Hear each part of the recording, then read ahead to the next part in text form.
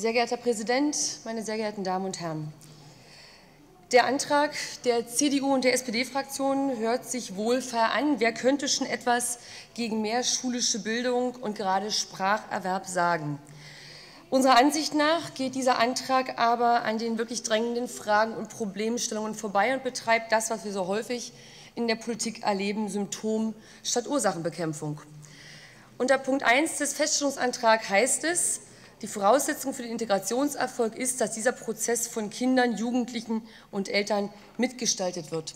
Nun ist Mitgestaltung wahrlich wichtig, mit Bestimmung vor allem im Vorfeld aber wichtiger. Wo geschah dies? Bei den beteiligten Eltern, und dazu gehören auch die Eltern der bereits an den Schulen lernenden Kinder, vorab.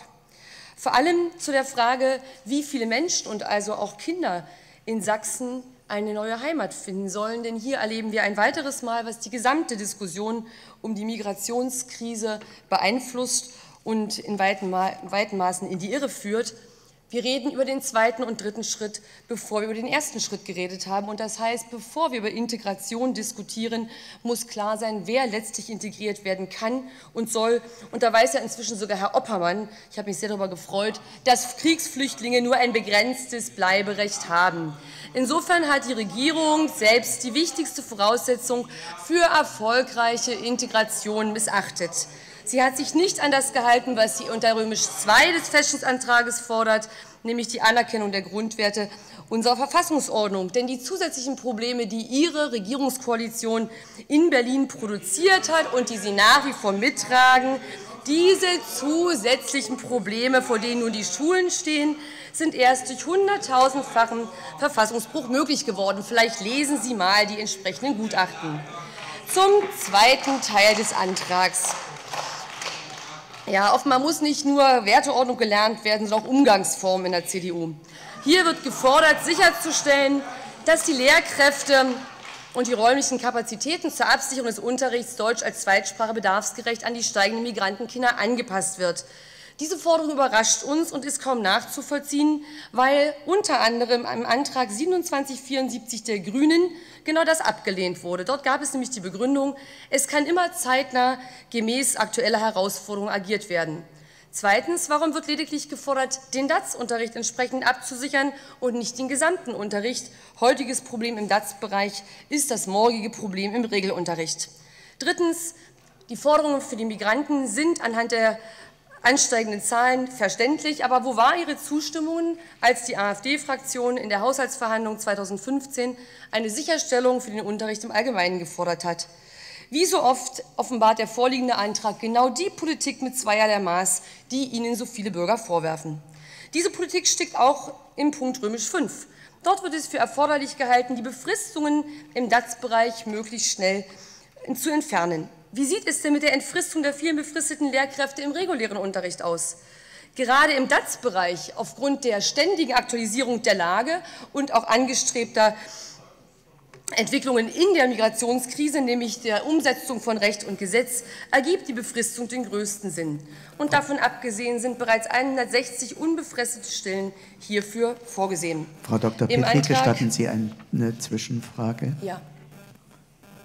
Frau Dr. Petri, um Ihrem Vorwurf zu entgegnen, hier Umgangsformen nie zu beachten, deswegen gebe ich Ihnen jetzt die Chance, über die Zwischenfrage eine Frage zu beantworten und zu beweisen, dass Sie auch inhaltlich verstehen, wovon Sie reden.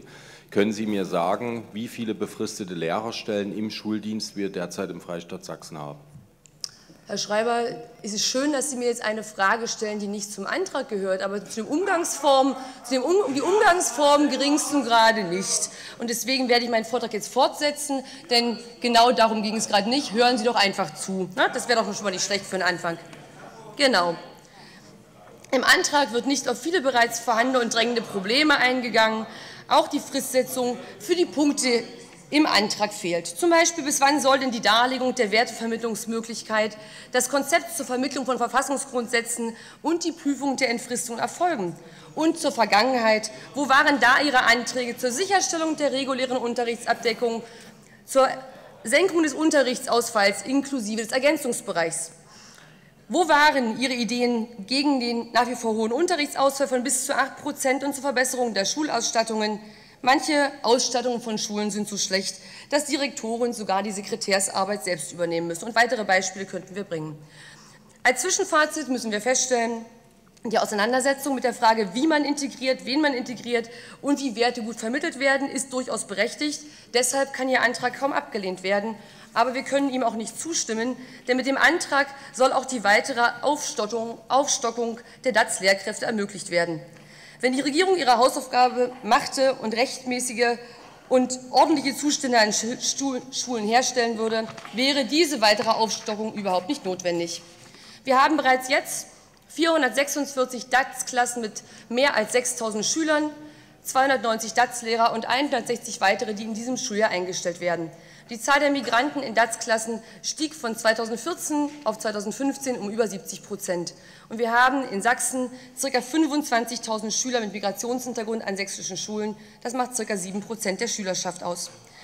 Deswegen richten wir unseren Appell an Sie. Wir müssen die Aufnahme von Migranten und auch Migrantenkindern endlich an unsere Kapazitäten anpassen und nicht umgekehrt. Die Argumentation, jetzt haben wir die Migranten und ihre Kinder nun einmal hier und müssen damit umgehen, die greift in der Perspektive zu kurz. Und zwar nicht, weil wir fremdenfeindlich sind, sondern weil wir es nicht schaffen, bereits vorhandene eigene Probleme zu lösen. Und daran wird die aktuelle Situation und eine weitere Zunahme von Migranten nichts ändern. Bevor die AfD nun wieder als herzlos beschimpft wird, sollte sich jeder, der das vorhat, fragen, wie inländerfeindlich oder herzlos diejenigen waren, die sich gegen die nötigen allgemeinen Bildungsinvestitionen im Haushaltsjahr 2015 stellte, die unter anderem auch wir gefordert haben. Herzlichen Dank.